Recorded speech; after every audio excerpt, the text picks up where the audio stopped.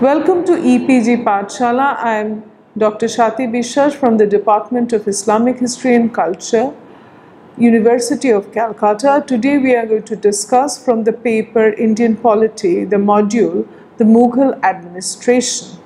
We have to understand that Mughal administration starts with the advent of the Mughals in India in 1526.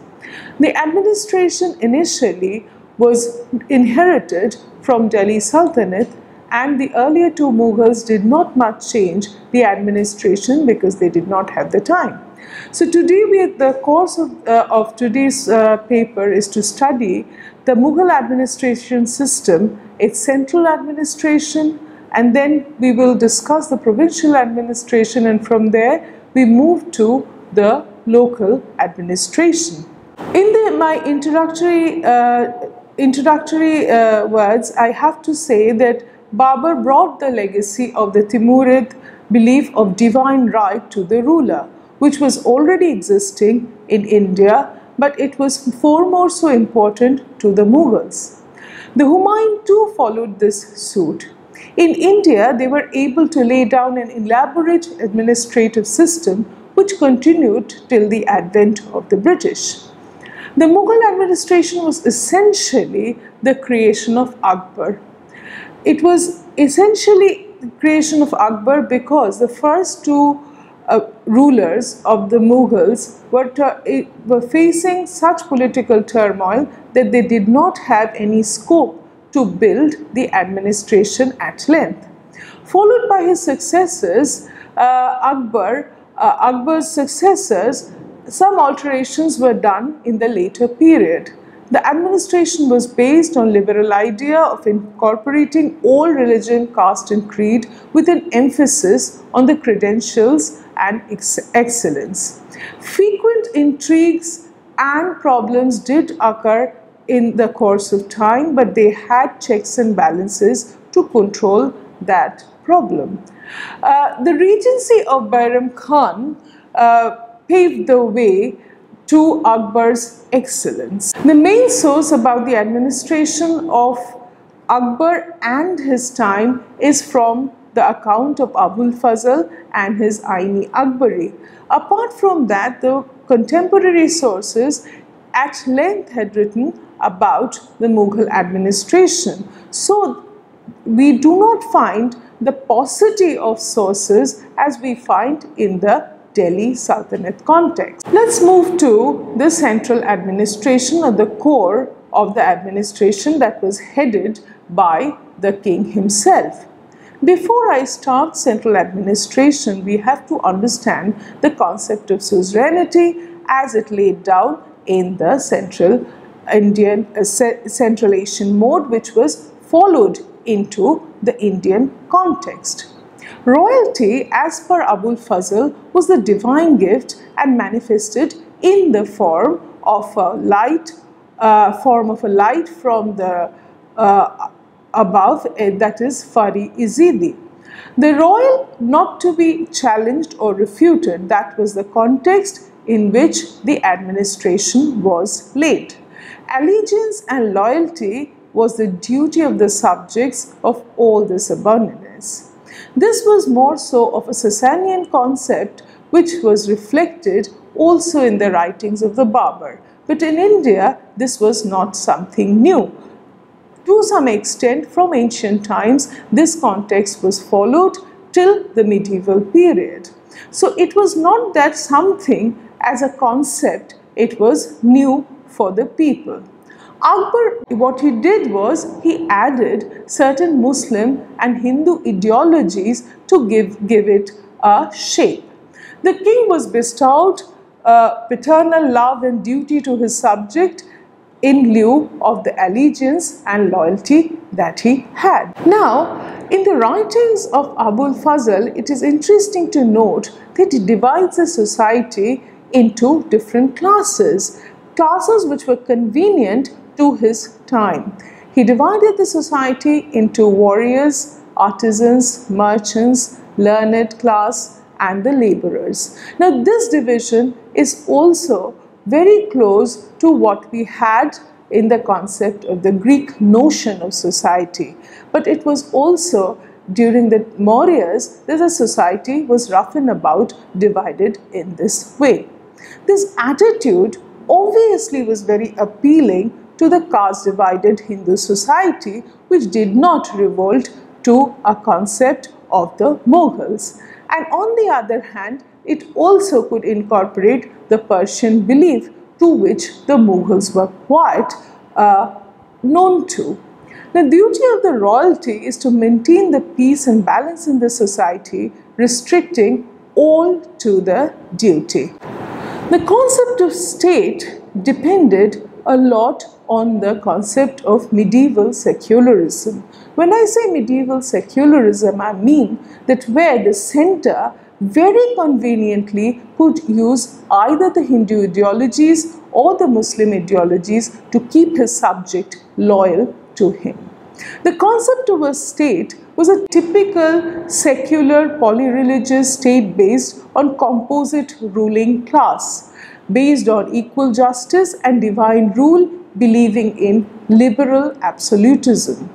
The society not even for once was described as Darul Islam or the abode of Islam because that would not have been very convenient for the Mughal rulers. And this was the legitimate reason why we see that during the time of Akbar, jizya was abolished.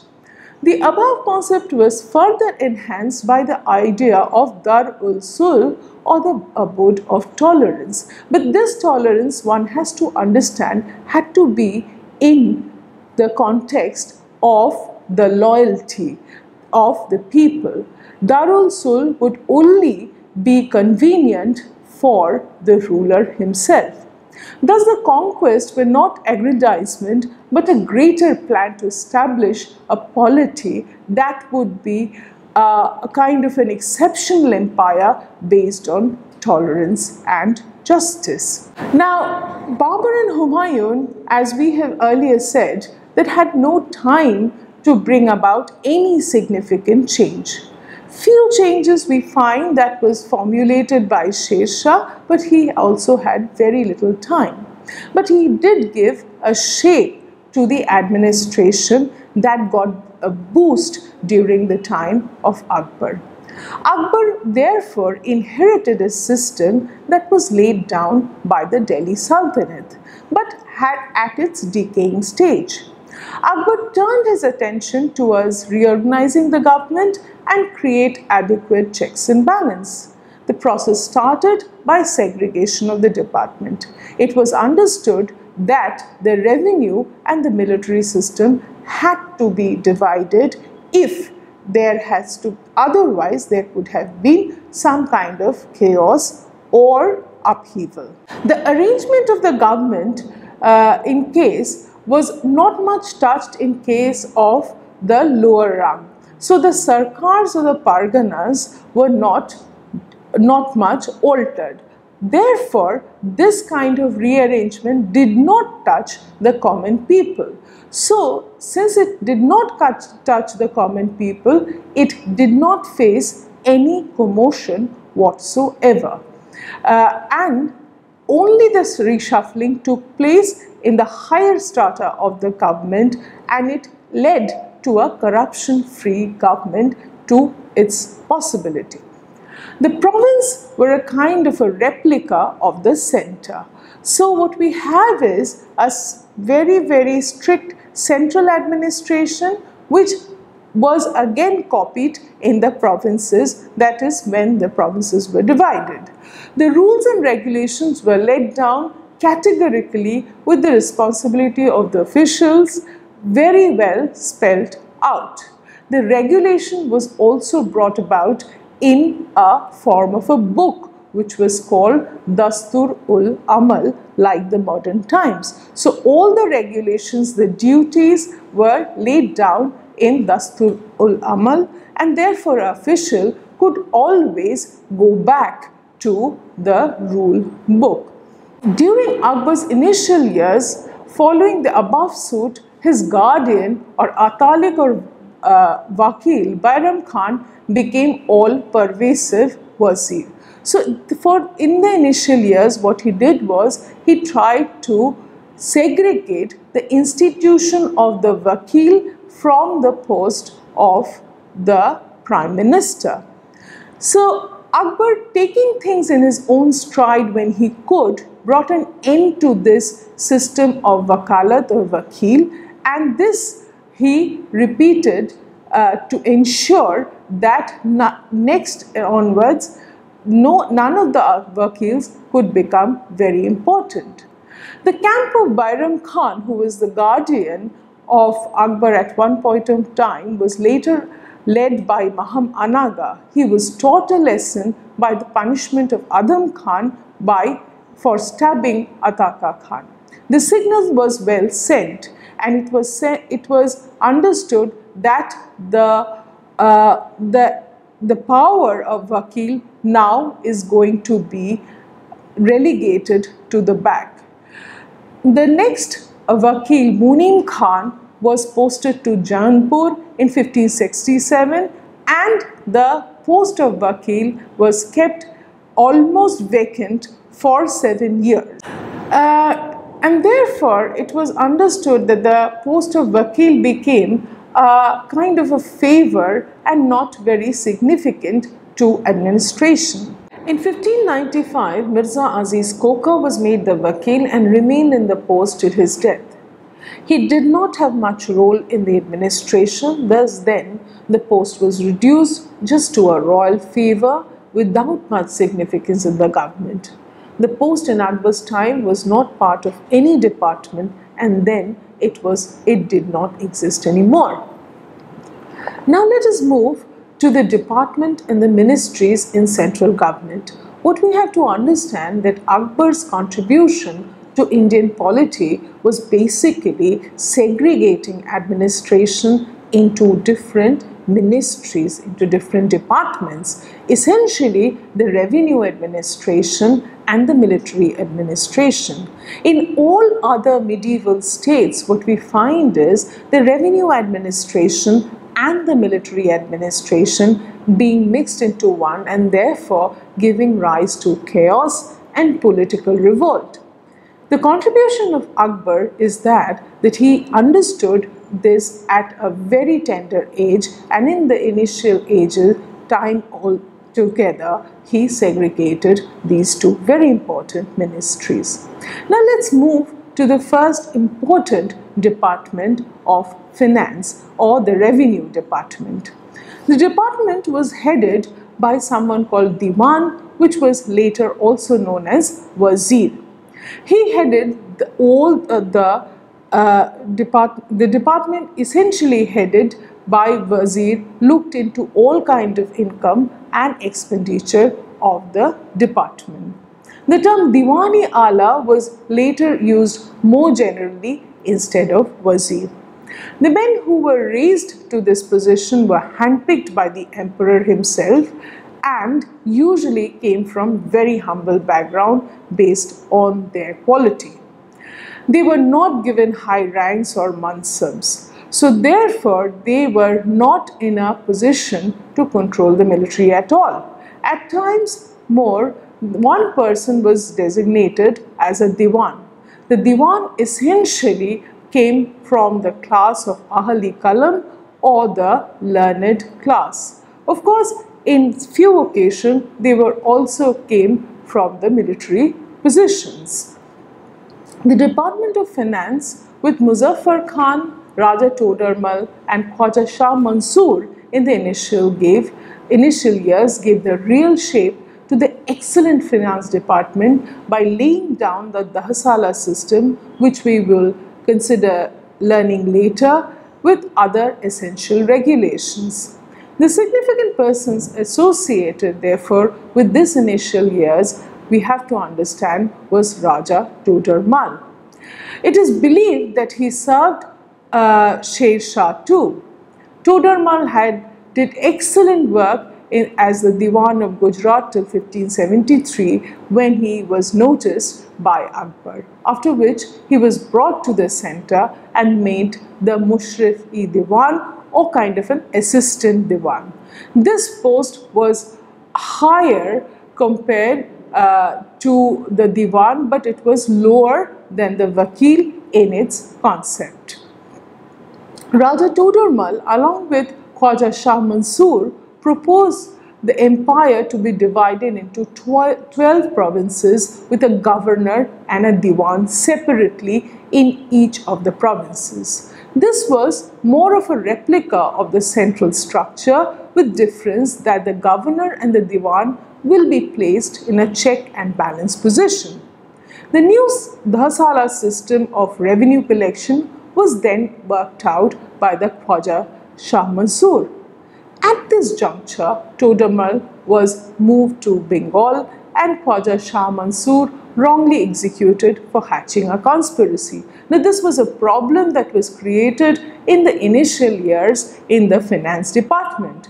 Todermal was recalled back and made the head diwan and he continued for 10 years till his death and brought significant change to the revenue system. After Raja Todermal, the department was well set for the future and we find that no other changes were, were made till the time of Aurangzeb with very slight variations here and there. Now the revenue department actually served as the backbone of the Mughal Empire. The Mughal Empire based on the income offset by the revenue department laid the foundation of the large empire that it had.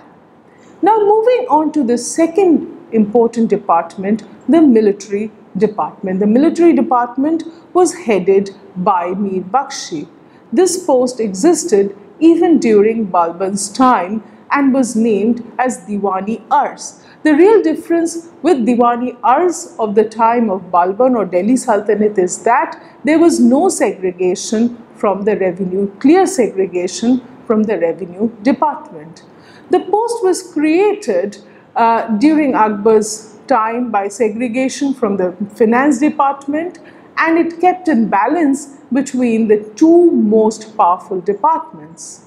The recruitment of the army, inspection of the horses and the muster of the troops at regular intervals was its task. As all the nobles were given military ranks in the system, this department was the core of the military ranks of all the empire. Mir Bakshi enjoyed a huge importance as he presented all other personals in the department to the emperor. He maintained separate register for mansabs in the military and civil services. Promotions were obviously passed through him. He was in charge for arranging the disposition of the troops and the, he was the sole paymaster for the military. He was not the commander-in-chief though.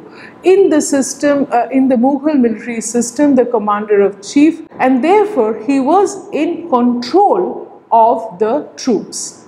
The branding and verification of the soldiers were all the mansabdars were done by him.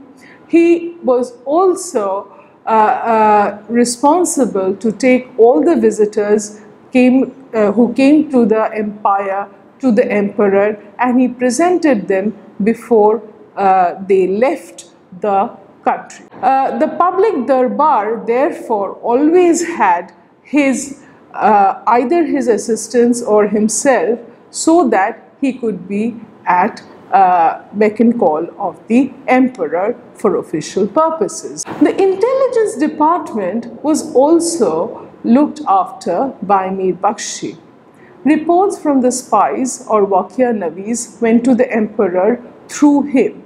So it was very important for him to be uh, the right kind of a person and his choice was also made by the emperor himself.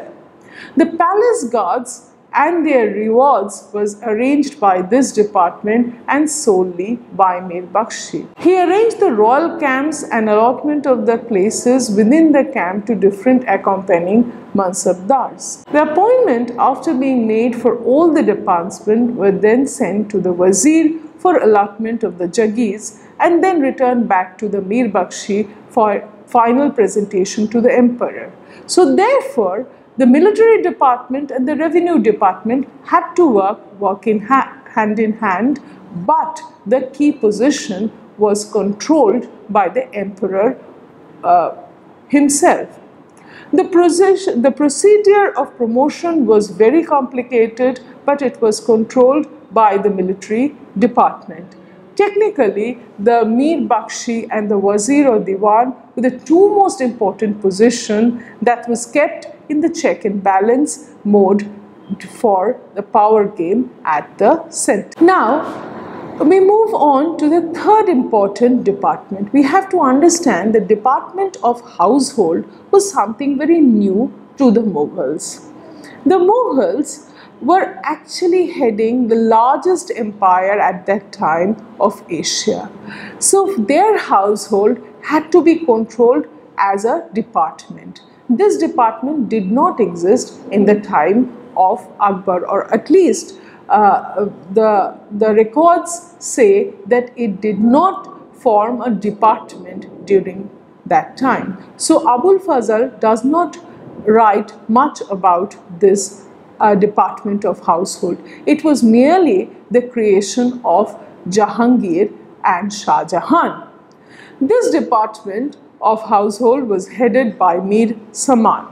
The department did not have any precedence in West Asia or even in Delhi Sultanate. During Akbar's period, we did have something called the head of the karkhanas, karkhanas or the royal karkhanas where items were produced for the consumption of the royalty or the sale of which went to the royal houses directly.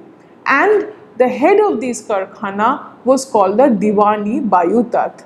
It is believed that later this Diwani Bayutat was known as Mir Saman. The factories uh, and the stores of the center were called karkhanas and this could produce the guns, the artilleries, the daggers, weapons and even the luxury items for the use of the upper, upper echelon or the royalty. The department maintained the horses and elephants for the army and the beasts of burden like camels, mules, asses and uh, which was used not only by the army but the royals for their personal use. Gradually, this uh, was considered as a very important responsibility that uh, had to be controlled by a department. It was a kind of manufacturing agency producing items for the royal family.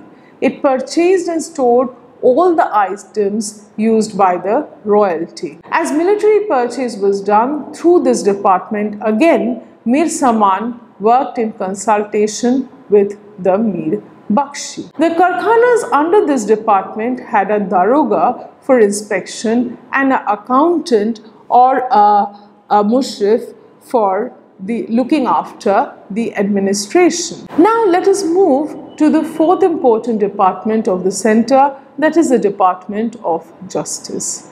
This department was headed by Sadr Sudur and he was the head of the ulemas. The emperor usually consulted him in case of all the justice matters. He was also called the chief qazi or the qazi ul-quzzat and appointed all other qazis of the provinces. In spite of the presence of the Sadr, one has to understand the final court of appeal was the emperor himself and he heard cases with the help of a mufti and not Sadr sudur So therefore, Sadr sudur was also kept under check and he did not become all pervasive or all powerful. The education system was controlled by the Sadr, but one has to understand that this education system was essentially the Islamic education system. The Hindu education system was not looked after by the department and it was given full right to the Hindu community. He distributed Madad-e-Mash in the form of land and cash. Now the interesting part is this made him a very very important personnel. Madadi Mash are the endowments that are given to the royalty or some or the scholars or people in need that the state thought. These were revenue free lands. According to Badauni, Sheikh Abdul Nabi during the time of Akbar distributed huge lands as endowment to the religious order. This amount of land was never distributed in future. Akbar later made a reform by which the Khalisa land or the land controlled by the center was separated from Aima or the revenue free land grants. So Khalisa lands earlier became a part of Madadi Mash but this later was segregated in the rule book. Now this made the endowment policy more transparent and it did control also the power of Sadr Sudur. The revenue free lands were divided then into six groups and each was placed under separate official and the power of Sadr Sudur was there just to recommend. Now, this is how the center functioned with clear-cut, watertight four departments, all department kept under check and in the control of the royal houses. Now moving on to the provinces, one has to understand that each of the province was a replica of the center. Now the uh, functioning of the provincial government. In 1580, Akbar for the first time tried to divide the uh, empire into subhas. Now, uh, we have to understand the concept of subha was already or the province was already there during the time of Delhi Sultanate and we did have regional powers cropping up from the subhas. After the incorporation of all these areas into the Mughal Empire, it became essential for the ruler to divide the empire into uh, very, uh, according to the regional character, into different units. In this system, the land was divided uh, into iktas under the muktis. Now, iktas under the muktis were a system that was uh, initiated by the, uh, by the Delhi Sultanate but continued till the time of the Mughals. Uh, they had, the muktis had executive power and the power to collect taxes. So they were responsible for the upkeep of law and order too. The Muktis who were more powerful with the control of strategic locations were called walis. Now all of this was inherited by the Mughals. In 1580, the big change happens in where uh, Mughal Empire for the first time was divided into 12 subhas. Now these 12 subhas were altered at times but essentially the geographical position remained the same. The Subadar or the, the person who was the key controller of the suba was also at times called the Sipah Salar. The Subadar was assisted by a Diwan who controlled the revenue, a Bakshi eh, who controlled the army, a Qazi who looked after the judiciary and a Mir Adal for justice. A Kotwal was also there in charge of the civil law and order and Amir Bahar controlling the river administration and ports and a Navi for uh, as a news writer. Now the governor did not appoint his subordinates. What therefore happened was all these appointments were done made by the center and the governor remained merely a senior colleague. The, therefore, the issue of checks and balance was same even in case of the provinces. Now, later what we see is the area of Orissa was annexed and it was included in the Suba of Bengal.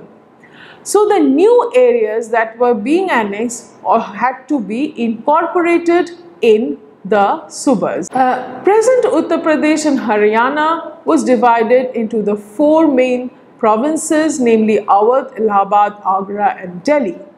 The area of Kashmir was included into Kabul. The Deccani states of Khandesh, Berar and Ahmednagar was always under a viceroy who was a prince royal of royal blood. In 1586, as an experiment, the Subas were placed under two governors, but this system was later abandoned because it led to much of the acrimony. Uh, interestingly, during Akbar, the province of Kabul and Agra was placed under a Muslim and a Rajput Raja as joint commander. Likewise, the province of Lahore and Ajmer was placed on exclusively under Rajput Rajas. It is believed that this kept the communal harmony of the state in balance. Now, each province was again divided into sarkars and parganas, which were the smaller units of administration. In course, therefore, like Mewar was included in the Sarkar of Chittor and Kota is mentioned as the Pargana of Sarkar Ranthambore. The sizes of the uh, provinces varied. Like Bengal was the largest with 24 uh, Parganas while Multan just had 3 Parganas. So there was no strict rule for the provinces as far as its area is concerned. The governors were the vice regents of the emperor responsible for general law and order and welfare of the subjects. They acted as a commander of the provincial army. A governor helped the diwan in collection of the taxes by controlling the errand zamindars. So overall what can say is governor helped all other subordinate officials in their functioning but did not control the officials. It was he who was kept looking for the trouble errand zamindars who could otherwise become disloyal and pose a problem to the state. He also helped him in the supervision of welfare projects like building dams, sarais, gardens and reservoirs and also repairing of the older ones. He also looked after the general law and order.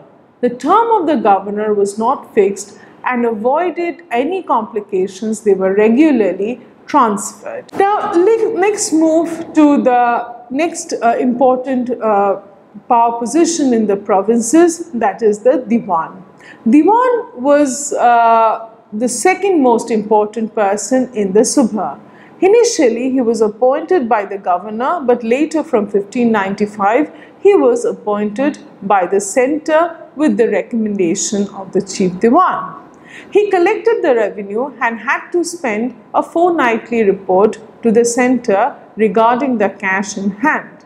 He audited the account and had to look after the charitable land grants. So he actually did the function of the diwan that was done in the center. So it was just a replication of what he was doing in the provinces. With the help of the Amil in the Sarkar, he also had to look into the improvement of cultivation and this gave him enough scope to control the Amir who were actually his, uh, uh, his subordinates. Now this point of course did not uh, is not mentioned by Abul Fazl because we find that this control of between the Amal, Amil and the Diwan was a later feature. The Bakshi in the province acted merely as the head of the intelligence service and he was more in conversation with the center.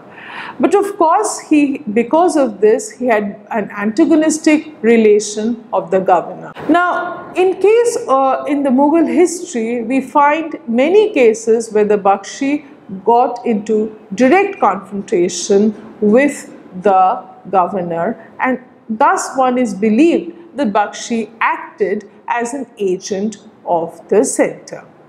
The Sadr distributed the grants and headed the judiciary. Of course, there was another position of the Qazis in the provinces who were assisted by Mir Adal and this post created was created to keep the notorious Qazis at bay. So the judiciary was always under check in the provinces. The Sadr therefore was heading the distribution of the grants and had no uh, role to play in case of direct justice. Direct justice was controlled by the Qazi and the held by Mir Adal.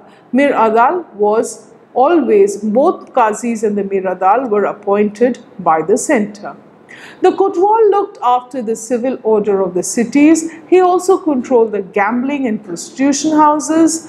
The weight and measures were checked by him apart from looking after general amenity. Now one therefore has to understand the provinces were more like states of today, of the modern India, where every aspect of the civil life, every aspect of person's judicial life was looked after by center and was well in control. But of course, certain amount of regional liberty was given to them.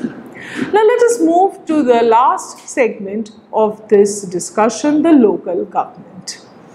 The local government, as has been said earlier, was not much changed by the Mughals.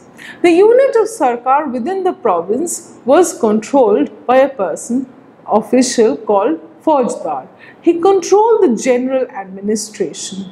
He also was assisted by someone called Amal Guzar who was in uh, the responsibility of collecting revenue. But then he controlled the armed forces too. Now, it is believed that armed forces were needed at times to collect the revenue and as the revenues were pretty high. The Qazi was responsible for general justice of the Muslims and whenever a party in dispute was a Muslim. The Parganas was controlled by a Shikdar who looked after the administration. The revenue was collected by an, uh, by an Amil and Kanungos determined the boundaries of the Parganas and the villages and kept the records. Uh, the, there are several clerks within working under these officials and they were called the Karkuns. The role of the Karkuns of course is not laid down well but the term has been there in use till the advent of the British. The functioning of the system was very complex as one can understand uh, for the foundation of the empire. The ruler was the set standard for all the nobles and it was his role very and his role was very important for the proper functioning of this complex system. The ruler appeared before the subject in the morning and this uh, appearance was known as Jharokhai Darshan and it is believed that the administrative system initiated uh, each day with this Jharokha e Darshan. So it was a kind of a direct control of the ruler and his subject. During the time of Akbar, this direct complaint was also taken and justice was meted right away. But during Shah Jahan's period, what we find is clerks collecting these com complaints and reports and reported to the emperor and then some justice was meted. The ruler regularly attended the Diwani Am or the public darbar and continued the official work for the day there. The private business was attended in a hall called Diwani Khas. Apart from this, he made regular visits to the karkhanas to look into the economic system which was controlled by the center. The administration was well knit and continued till the time of Bahadur Shah with very little changes because the real foundation was done by Akbar himself. The system made the rulers accessible to his subjects and through a proper organized justice system was able to establish good governance or at least a serious attempt was Now let us summarize the discussion that we have done. The Mughal administration tried to give a uniform administration to its people. The center tried to control through proper check and balance the administration. The emperor was a source of power and had the authority to remove any person at any pretext. The administration functioned smoothly during the time of the imperial Mughals. The Mughal administration was based on secular principle involving religion as uh, religious as well as secular policies that was convenient to the center. For further reference, we have to look into the e-text and the glossaries and bibliographies given there. Thank you.